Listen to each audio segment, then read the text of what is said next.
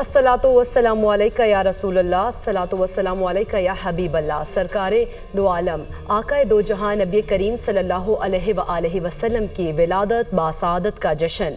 मुल्क भर में ईद मिलादुलनबी सल्लल्लाहु अलैहि वसल्लम आज इंतहाई अकीदत एहतराम से मनाई जा रही है। तमाम छोटे, बड़े शहरों और देहातों में जुलूस निकाले जा रहे हैं। शहर शहर गली गली चरागा मसाजिद, इमारतों, बाजारों और चौराहों पर सब्ज परचमों की बहार है। ईद मिलादुलनबी के मौके पर दरुद सलाम की महफिलों का इनका आशिकान रसूल ने भरपूर शिरकत की। दरुद सलाम की सदाओं से फ़जाई मौतर हैं। पाक फौज की जानब से ईद मिलादुलनबी के मौके पर तोपों की सलामी पेश की गई। सरवर कायनात ताकाए दो जहाँ नबी करीम सल्लल्लाहु अलैहि वसल्लम की वलादत बासादत का जश्न, जोश खरोश के साथ मनाया जा रहा है। मुल्क भर में ईद मिलादुलनबी आज इंतहाई अकीदत व एहतराम से मनाई जा रही है। सदर ममलिकत और वजी अजम की उम्मत मुस्लिमा को जश्न ईद मिलादुलनबी सल्लल्लाहु अलैहि वसल्लम के मौके पर मुबारकबाद। सदर ममलिकत आसिफ जरदारी ने अपने पैगाम में कहा, अल्लाह ने रसूलुल्लाह की ज़िंदगी को हमारे लिए बेहतरीन नमूना करार दिया। हमें दुनिया भर में अमन, भाईचारे और मोहब्बत को फ़रोग देना है। हमें चैलेंजेस का सामना करने के लिए आपकी ज़िंदगी को अपने लिए नमूना बनाना है। वजी अजम शहबाज शरीफ ने पैगाम में कहा कि नबी सल्लल्लाहु अलैहि वसल्लम ने तहात, मोहब्बत और भाईचारे की तलखीन की। उम्मत मुस्लिम और पाकिस्तान को दरपेश मसाइल का हल नबी की तालीमत में पिनहा है। हमें आज के मुश्किल दौर में नबी की सीरत पर अमल करने की ज़रूरत है। मुल्क भर में ईद नबी सल्लल्लाहु अलैहि वसल्लम इंतहाई अकीदत व एहतराम से मनाई जा रही है। छोटे बड़े शहरों में जुलूस निकाले जा रहे हैं। शहर शहर गली गली चिरागा हैं मसाजिद इमारतों बाजारों और चौराहों को खूबसूरती से सजाया गया। ईद मिलादुलनबी के मौके पर दरुद सलाम की महफिलों का इनका भी किया जा रहा है। मुल्क भर में ईद मिलादुलनबी इंतहाई अकीदत व एहतराम से मनाई जा रही है। हमारे नुमाइंदगान मुख्तलिफ़ शहरों के अंदर मौजूद हैं। उनसे जानेंगे कराची से शहबाज खान और फैसलाबाद से हमारे साथ होंगे जुलकर नैन ताहिर। इनसे इस बारे में जानेंगे कि ईद मिलादुलनबी का समा है। आज नबी की आमद का दिन है तो क्या मनाजिर वो देख रहे हैं? शहबाज खान की जाने बढ़ेंगे शहबाज, बताइएगा कराची के अंदर क्या मनाजिर हैं? किस तरह से शहरी ईद मिलादुलनबी की जो खुशियाँ हैं, उसको मना रहे हैं? जी, बिल्कुल जश्न ईद मिलादुलनबी सल्लल्लाहु अलैहि वसल्लम के मौके पर कराची के मुख्तलिफ़ इलाकों में इस वक्त जलूस और रैलियाँ निकलने का सिलसिला जारी है। सर हम शाफेसल टाउन पर मौजूद हैं। शाफत का जो मरकज़ी जुलूस है, वो नूर मस्जिद से बरामद हुआ था और तकरीबन दो किलोमीटर का इसका रिवायती रास्ता था, मुख्तलिफ़ गलियों से और शाहराहों से होता हुआ कॉलोनी गेट ईदगाह ग्राउंड पर आकर जो है वो अख्ताम पजीर हो गया, जहाँ पर महफिल नात का जो है और मिलाद का इनका किया गया है। कराम जो है, आप सल्लल्लाहु वसल्लम की सीरत मुबारक पर रोशनी डाल रहे हैं और ख़िताब को फर, फरमा रहे हैं। जुलूस का जो रूट था, उस पर जुलूस के शुरा के लिए ख़ास तौर पर सभी लोग का इंतज़ाम किया गया था, मुख्तलिफ़ मजहबी जमातों की जानब से। इसके साथ साथ अगर सिक्योरिटी की हम बात करें तो पूरे डिस्ट्रिक्ट कोरंगी के जितने भी थाने हैं तमाम की नफरी इस जुलूस के ऊपर सिक्योरिटी पर मामूल की गई थी। वक्ता फ़वक्ता बम डिस्पोजल स्कॉट की जानब से जुलूस के रूट की स्वीपिंग भी की गई। साथ ही साथ जो ट्रैफ़िक पुलिस एहलकार थे कार थे वो भी रूट पर तैनात रहे और जो गलियाँ बंद की गई थी रोड बंद किए गए तो उसकी वजह से आम ट्रैफ़िक को वहाँ से गुजरने की इजाज़त नहीं थी। उनको मुतबादल रूट से जो है वो गुजारा जा रहा था। इस वक्त यहाँ पर ईदगाह ग्राउंड पर जो है महफिल मिलाद मनद की जा रही है जिसमें उलमा इकराम समेत बड़ी किया गया है शहबाज। साथ ही रहिएगा फैसलाबाद का रुख करेंगे। जुलकरन आप बताइएगा कि फैसलाबाद में क्या सूरत हाल देख रहे हैं सिक्योरिटी के हवाले से भी और जिस तरह से वजी अला की जानब से इंतज़ाम के लिए खसूसी हदायत जारी की गई थी उस हवाले से भी बताइएगा हमें।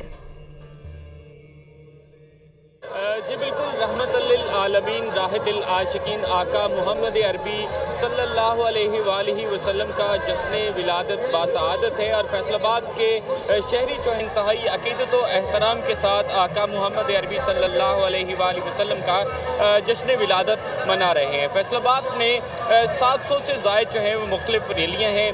बीस बड़ी महाफिल हैं और मुख्तफ जगहों पर जो है वो गलियों, बाज़ारों को सजाया गया है। बच्चे इस हवाले से खासे पुरजोश दिखाई देते हैं। हर समत दरुदो सलाम की सदाएँ बुलंद हो रही हैं। मैं इस वक्त मौजूद हूँ चौक घंटा घर में। फैसलाबाद शहर से निकलने वाली तमाम रैलियाँ चौक घंटा घर में जमा हो रही हैं। हर शख्स अपनी अकीदत और मोहब्बत का जो है वो इजहार अपने ही तरीके से कर रहा है। फैसलाबाद में निकलने वाले जितने भी जुलूस हैं, उनकी सिक्योरिटी के लिए चार हज़ार से जायद पुलिस एहलकार तैनात किए गए हैं, जबकि चार सौ से जायद ट्रैफ़िक वार्डन्स की ड्यूटियाँ भी लगाई गई हैं। वजी पंजाब मरीम नवाज़ की हिदायत के मुताबिक जगह जगह पर जो है वो छोटे बड़े सभी ईद ईद मिलादुलनबी वसल्लम जोश खरोश तरीके से मना रहे हैं। बहुत शुक्रिया शहबाज और जुल्करनैन आप हमें आगाह कर रहे थे। रावलपिंडी में भी जश्न ईद मिलादुलनबी वसल्लम अकीदत एहतराम से मनाया जा रहा है। जुलूस मरकजी कदीमी जाम मस्जिद से फवारा चौक पहुंचेगा। जुलूस फवारा चौक से कदीमी मरकजी जाम मस्जिद पहुंचकर रात गए अख्ताम पजीर होगा। मजीद जानते हैं फौजिया अली से। जी फौजिया। रावलपिंडी में भी जश्न ईद मिलादुलनबी दीनी जोश और जज्बे के साथ मनाया जा रहा है। हर सो नात खाने की सदाएँ जो हैं वो बुलंद हैं। इस वक्त हम रावलपिंडी की कदीम जामा रोड पर हैं क्योंकि जो ईद मिलादुलनबी का जुलूस है, वो कदीम जामा मस्जिद से निकलता हुआ अपने रवायती रास्ते से ही जाएगा जो कि बन्नी चौक है। फिर उसके बाद मरी रोड, कमेटी चौक से फवारा चौक और फिर उसके बाद दोबारा अख्ताम पजीर भी वो कदीमी जाम मस्जिद ही होगा। इस हवाले से इंतज़ाम के हवाले से आपको बताएँ तो तीन हज़ार से जायद सिक्योरिटी एहलकार जो हैं वो तैनात किए गए हैं। दाखिली रास्तों पर वॉक थ्रू गेट्स भी लगाए गए हैं और चेकिंग के बाद ही शुरा को जो है वो अंदर आने दिया जा रहा है। फ़िज़ाएँ जो है नात खानी से जो है वो गूंज रही हैं और हर कोई जो है वो मजहबी दीनी जोश और जज्बे से ईद मिलाद नबी जो है वो मना रहा है। जी। ईद मिलादुलनबी सल्लल्लाहु अलैहि वसल्लम की खुशी में बाज़ारों, गली मोहल्लों और घरों को खूबसूरत अंदाज में सजा दिया गया। लाहौर में शालीमार बाज़ार को दुल्हन की तरह सजा दिया गया है। इस हवाले से मजीद बताएँगे लाहौर से हमारे नुमाइंदे उसामा गौरी। जी बिल्कुल सरवर कौन है? नाकाय दो जहाँ हज़रत मोहम्मद मुस्तफ़ा सल्लल्लाहु अलैहि वसल्लम का योम मिलादत बासआदत पूरे मुल्क में मजहबी जोश खरोश और अकीदत व एहतराम के साथ मनाया जा रहा है और इसी सिलसिले में शहर लाहौर के बासी भी किसी से पीछे नहीं है। शहर लाहौर में भी हर तरफ़ जुलूस मिलाद का इनका किया जा रहा है। जगह जगह महफिल मिलाद और जुलूस और रैलियों का इनका किया जा रहा है। इस वक्त मैं शालामार बाज़ार में मौजूद हूँ। मुख्तलिफ़ गली, मोहल्लों, बाज़ारों और मसाजिद को भी बड़ी ही खूबसूरती के साथ सजाया गया है। मेरे कैमरा मैन अदनान हसन आपको दिखा सके तो ये शालामार बाज़ार को भी बड़ी खूबसूरती के साथ सजाया गया है। बरकी कुमकुमे लगाए गए हैं, छोटी बड़ी झंडियाँ लगाई गई हैं और मुख्तलिफ़ किस्म के पट्टियाँ भी लगाई गई हैं और इस बाज़ार को बड़ी खूबसूरती के साथ सजाया गया है। शहर लाहौर के बासी जो हैं वो सब परचम हाथों में लिए मुख्तलिफ़ जलूसों में शिरकत भी कर रहे हैं और इसी के साथ साथ शहरी कहते हैं कि जिसके लिए पूरी कायनात सजी है। आज उसकी आमद है और उसी के लिए शहर लाहौर को भी दुल्हन की तरह सजा दिया गया है। जी। हम वसल्लम से मोहब्बत करें और उनके बताए हुए रास्ते पर चलें। मैं समझता हूँ कि आप सल्लल्लाहु अलैहि वसल्लम की जो ज़िंदगी है, वो जो कुरान में हमें बताया गया, अमली तौर पर उनकी ज़िंदगी जो है, एक नमूना है और उसके ऊपर अमल पैरा होना हमारे लिए नहायत ही लाजिम है बैसीत मुसलमान। हजूर पाक ने हमें हर तरह का, हर तबके का, माशरे के हर तबके का एक रास्ता दिखाया। और वही रास्ता ही हमारे लिए इस जहान और उस जहान हमारे लिए मफरत का एक ज़रिया बन सकता है। अगर हम उसको उसी तरीके से अडॉप्ट करें। आप सबको ये मालूम होना चाहिए कि इस्लाम के फैलाने में पहले तीस साल जो मेहनत की गई और जंगें लड़ी गई तो इस्लाम जंगों से नहीं फैला, बल्कि हमारे नबी सल्लल्लाहु अलैहि वसल्लम की सीरत से, उनकी ज़िंदगी से, उनके अमाल से, उनके किरदार से और उनके बताए हुए अहकाम के रास्ते पर चलने से मुसलमानों के अंदर जो लोगों ने एक चीज़ देखी अमली तौर पर तो उससे मुतासर होकर लोगों ने इस्लाम कबूल किया। तो इससे साबित होता है कि इस्लाम और अपने आप से, अपनी ज़िंदगी से एक नमूना बनाकर लोगों को, एक अमली तौर पर नमूना पेश करने के बाद ही आप लोगों को इस्लाम की तरफ़, अच्छाई की तरफ़ रागब कर सकते हैं। इसलाह का दर्ज दिया गया है। इसलाह का बताया गया कि अपनी इसलाह की जाए। और उसके वादे एक बड़ा जो हमारे इस्लामी तारीख में एक सबक हमें मिलता है फतेह मक्का है। फतेह मक्का के बाद आम माफ़ी का ऐलान किया गया। और आम माफ़ी के ऐलान के साथ इसलाह, और यही इसलाह और सजा जो है उस पर इसलाह पहले आती है कि अपनी इसलाह करें हम। और जब भी कोई जंग हुई है तो उस जंग से पहले हमेशा उन लोगों को इसलाह के लिए एक पैगाम भेजा जाता था। एक पैगाम के ज़रिए बताया जाता था कि आप मज़हब इस्लाम में आए और आके मुसलमान होकर कलमा तैयबा पढ़े। उसके बाद अगले इकदाम बाद में किए जाते थे। और औरतों के हवाले से, गुलामों के हवाले से, यतीमों के हवाले से हर तरह के अकलीतों के हवाले से जो जो चीज़ें हजूर पाक सल्लल्लाहु अलैहि वसल्लम ने बताई हैं उससे पहले के ज़माना और उसके बाद के ज़माने में एक वाज फ़र्क है। क्योंकि उन्होंने इंसाफ की बात की। सबसे पहले इंसाफ की बात की उन्होंने। फिर हकूक़ की बात की। फिर अमानत की बात की।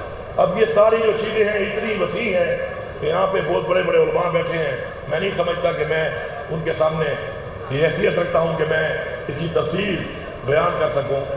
लेकिन इन सब चीज़ों में जो उन्होंने बताई, एक तफसीर है और उस तफसीर के अंदर जाना हमारे लिए फ़र्ज़ है और उसके लिए हमें अपने बच्चों को, अपनी कौम को इस्लामी तालीम देनी पड़ेगी। इसीलिए हमने अपने मदारस के बच्चों को अपना बच्चा समझ कर इन बहुत अच्छे अच्छे इकदाम हैं जो हमारी हुकूमत करने लगी है उनके लिए।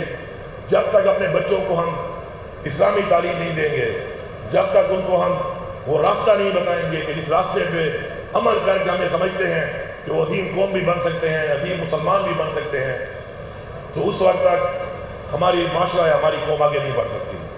मैं यहाँ पे अपने लीडर इमरान खान का ज़िक्र करता हूँ कि हमारी बहुत सी चीज़ें जो उसने हमें सिखाई और बताई और जिस पर हमें सबसे ज़्यादा फ़ख्र है और हम फ़खरियत तौर पे पेश करते हैं, पूरी दुनिया को बताते हैं, वो ये है कि उन्होंने इस्लाम की बात की पूरी दुनिया में। इस्लाम का वो चेहरा बताया दुनिया को जिससे दुनिया ना नवाकिफ थी। इसी तरह नामूस रिसालत पर जब उन्होंने बात की और पूरी दुनिया को बताया और बनवाया कि नामूस रिसालत की वजह से हमारे मुसलमानों के दिलों को ठेस पहुँचता है और उसके लिए एक आलमी दिन मुकर किया गया है। मैं समझता हूँ कि इमरान खान की तमाम उन चीज़ों में सबसे जो बड़ी चीज़ है, वो ये है कि उन्होंने इस चीज़ को मनवाया और पूरी दुनिया में पूरी उम्मत मुस्लिम की नुमाइंदगी की। हमें फ़ख्र है इस बात पे। मैं ये समझता हूँ कि इन हम उस रास्ते पे चल के उन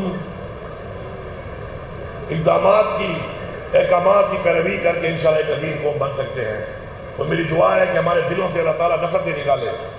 हमारे दिलों में अल्लाह ताला वो रोशनियाँ डाले कि जिन रोशनियों से हम एक अजीम माशरा बन सकते हैं। अपनी ज़ात से निकल के हम एक कौम का इस्लाम की जब बात करेंगे तो फिर हम एक अजीम कौम बनेंगे। और हमारे पर अल्लाह ताला की रहमत होगी। अल्लाह ताला का करम होगा, अल्लाह ताला का फजल होगा। इस्लाम ने अमन की बात की, इस्लाम ने जिहाद की बात भी की अमन की बात भी की।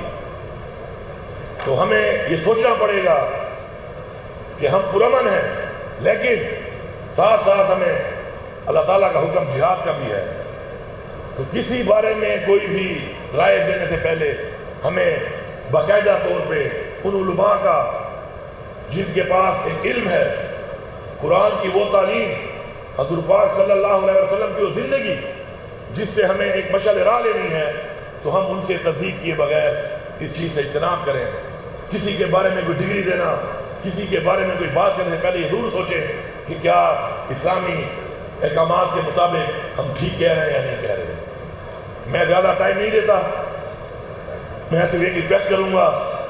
मैंने सुबह भी कॉल की अपने भाई को, अदनान कादरी साहब को, कि मेरे वक्त में से मैं अपना वक्त निकाल के चाहता हूँ कि हम सब के लिए, बल्कि पूरी दुनिया के लिए, एक चार्टर जो है, वो है हमारा हज़रत और मैं चाहूँगा कि आप सबके सामने उसको पेश किया जाए, ताकि यहाँ से हम और हमारे से यहाँ से पूरी दुनिया को वो जाए, क्योंकि उससे बेहतर मॉडल और उससे बेहतर चीज़ हमारे पास और कुछ नहीं है। आप सबका बहुत शुक्रिया।